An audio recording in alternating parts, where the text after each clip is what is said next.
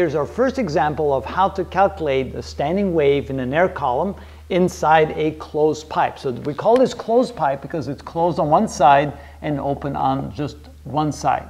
So this is what called a closed pipe. An open pipe would be open on both sides. So again, the situation is if a uh, sound wave comes into the pipe, and it bounces off the very end at the moment that we have a displacement node there, meaning the uh, displacement of the, of the air molecules at the moment is equal to zero, which means that at that moment there's the maximum pressure difference.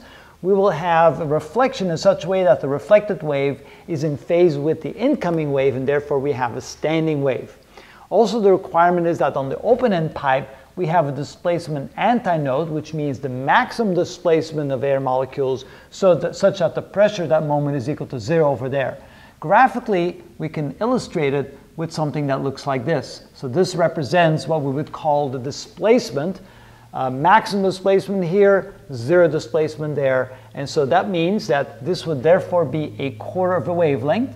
So this is a one quarter lambda from this one end to the other end, and this would therefore be the, if it's the uh, largest wavelength, it would then be the smallest frequency. Or actually, the way to think about it is, yeah, that would be the, the resonance frequency, the way we would call it. So that would be first resonance would be obtained by having a situation like this, where we have a displacement antinode here and a displacement node there. Now, if the wavelength, if the wave has a frequency of 200 hertz and the velocity in air is 340 meters per second, then how long does pipe have to be in order to have a situation like that?